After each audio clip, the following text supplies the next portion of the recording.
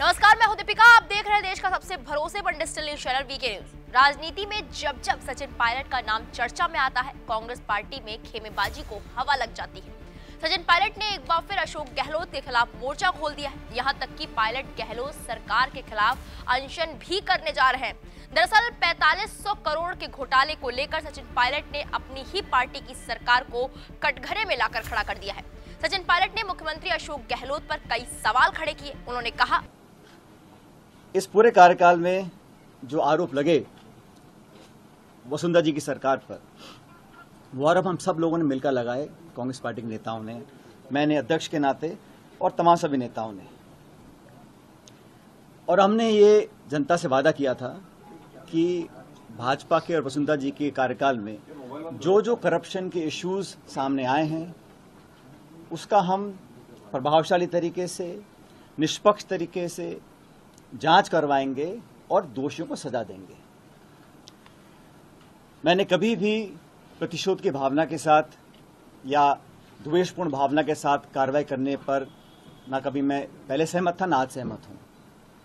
लेकिन ये बात भी सच है कि विपक्ष में रहते हुए हमारी जो विश्वसनीयता थी, वो तभी कायम रह सकती है जब हम अपनी बात पर खरा उतरें।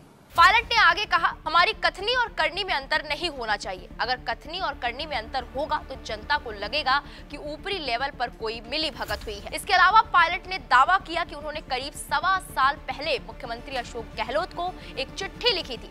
उस चिट्ठी में ये आग्रह किया था कि हमें अपने वादों पर खरा उतरना चाहिए। बीजेपी सरकार के दौरान हुए घोटालों पर अब कार्रवाई करनी चाहिए, लेकिन उस चिट्ठी का उन्हें आज तक कोई जवाब नहीं मिला है। आज से लगभग साल, सवा साल पहले मैंने मुख्यमंत्री अशोक गहलोत जी को चिट्ठी लिखी। उनको मैंने कहा, वो चिट्ठी मेरे साथ है, मेरे सामने है।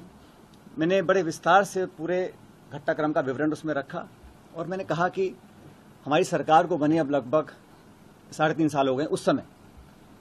अब समय आ गया कि हम लोग अपने वादों पर खरा उतरें।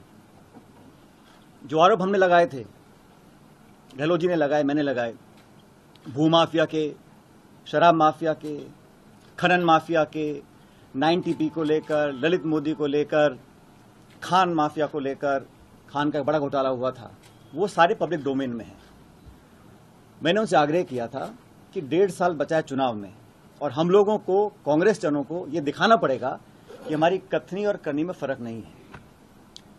मैंने तमाम जो हमारे स्टेटमेंट्स थे, जो हमने प्रतिक्रियाएँ दी थी, जनसभाओं में प्रेस वार्ता में जो आरोप लगाए थे वो सब उनको मैंने दिए और उसकी कॉपी मैंने एआईसीसी में तमाम लीडरशिप्स को दी कि हम चाहते थे संज्ञान इसका लिया जाए। ये पहली चिट्ठी मैंने लिखी थी 28 मार्च 2022 को। उसका मुझे जवाब नहीं मिला। तो फिर मैंने 2 नवंबर 2022 को एक और चिट्ठी लिखी। उसमें उनको बड़ा विनम्रता से आग्रह किया कि मैंने आपको पहले लिखा था ये ये प्रकरण हुए, ये आरोप आपने लगाए, मैंने लगाए, पूरी कांग्रेस पार्टी ने लगाए और जनता ने हमारी बातों को विश्वास किया। तभी तो हम लोग जहाँ सिर्फ़ 21 सीटों पर रह गए थे 2018 के चुनाव में 2013 के चुनाव में 21 से लेकर हम 100 तक पहुँचे तो हमारी बात पर लोगों ने विश्वास किया था। चिट्ठी लिखी मैंने, दो हज़ार दो नवंबर 2022 को।